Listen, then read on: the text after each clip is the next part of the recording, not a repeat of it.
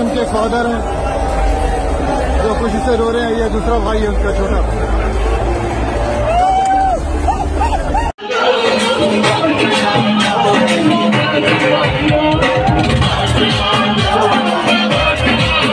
मुझे जमाल रतन मुझे जमालो